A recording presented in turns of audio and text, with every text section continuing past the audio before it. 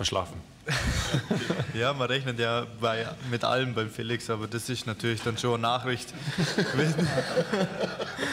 wo man nicht so gern hört und man hat dann einfach auch gefragt, ob alles in Ordnung ist und wo man dann auch mitgekriegt hat, dass es zum Glück nicht ganz so schlimm ausgegangen ist, weil mit so einem Autounfall, da kann nicht alles passieren, aber ja, wir haben dann auch noch Kontakt gehabt und ich habe ja. dir nur deine Skischach gebraucht, du Pfeife. Ja, ich, ja. Nein, nein, da ist gar nichts passiert. ja, genau.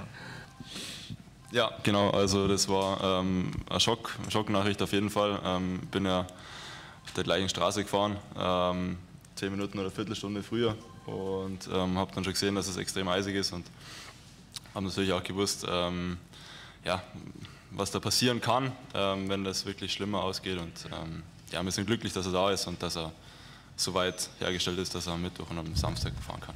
Ja, natürlich ist es für den Felix erstmal wichtig, dass er ja, halbwegs gesund aus der ganzen Sache rausgegangen ist. Ähm, ja, und ich natürlich hoffe und wünsche ihm, dass er die nächsten Rennen danach so bestreiten kann, wie er eben das auch, ja, braucht und auch will. Ähm, ja, und letztendlich ähm, muss sich dann eh jeder auf sein eigenes Rennen konzentrieren und so ist es bei mir eben auch. Aber wie gesagt, natürlich schockt man, äh, ja, stockt man erst kurz der Atem, wenn man das liest. Ähm, Autounfall von Neureuter, dann, ja, das ist natürlich schon ähm, nicht so ohne. Natürlich, aber wie gesagt, wichtig ist, dass alle Beteiligten gut geht und das ist jetzt scheinbar der Fall. Und wie gesagt, dann wünsche ich ihm natürlich auch gute zwei Rennen. Ja, also ich habe den ganz großen Trubel darum eigentlich gar nicht so mitbekommen. Das war ja ich glaube, an unserem, ich weiß gar nicht mehr, wann ist denn passiert? An, unserem Super-G-Tag, oder? Genau, und ähm, ja, beim Mittagessen saßen wir, als es äh, die anderen erzählt haben und wir sind natürlich auch erstmal geschockt gewesen, ist klar, wenn man äh, von einem guten Freund eigentlich so eine Nachricht hört. Am Anfang wusste auch keiner genau, wie schlimm es ist. Er war dann erst noch bei der Untersuchung, aber es gab ja dann doch relativ schnell einigermaßen Entwarnung, dass, es, dass er eben einen Tag später nachreisen wird und dass es Gott sei Dank alles einigermaßen glimpflich ausgegangen ist und da waren wir dann natürlich froh und beruhigt. Also es war am Anfang schon sehr schockierend, wenn man dann ins Internet schaut und dann sieht, ja, äh, Felix Neureuter nicht im Flugzeug. Ähm, der Felix ist halt der Leistungsträger von den Herren, äh, der größte, sage ich jetzt mal. Und ähm, das ist natürlich dann, kommt schon Trubel auf, weil jeder fragt sich ja, was ist los, kann er starten, kann er nicht.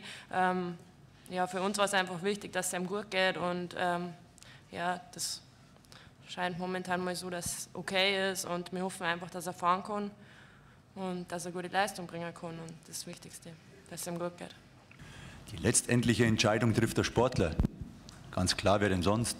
Ähm, wir sehen uns da natürlich in der Rolle, ihn zu beraten. Das wäre jetzt in einer, in, einer, in einer, Situation, wo wir ihn für nicht zurechnungsfähig halten würden und sagen, wir müssen dich schützen. Aber ähm, das, das sehe ich jetzt oder sehe ich auch nicht kommen. Aber am Schluss entscheidet der Sportler, fühlt er sich bereit, zu fahren oder fühlt er sich nicht bereit? Ähm, wenn es jetzt da zu einer erheblichen Diskrepanz käme zwischen dem Urteil jetzt speziell eines Mediziners, der sagt, es ist nicht zu verantworten, ähm, okay, dann müssten wir die Entscheidung treffen. Aber wenn, wenn wir den Fall hätten, dann, ich denke mal, es geht jetzt um den Felix, den Sie ansprechen, dann wäre er gar nicht da angereist. Genau das war ja Sinn und Zweck, das abzuklären im Vorfeld. Äh, kann er anreisen, kann er da trainieren ähm, oder wäre es nicht zu vertreten, zum Beispiel einen Sturz zu riskieren und mit einem zum Beispiel vorgebrochenen gebrochenen Wirbel oder am gerissenen Band, äh, soviel zu dem Bandapparat, bei einem erneuten Sturz oder Impact eine schwerere Verletzung zu riskieren, ähm, dann, dann wäre er gar erst drüber gekommen. Da das nicht der Fall ist, ist er rüben und dann, glaube ich, stellt sich am Schluss diese Frage nicht.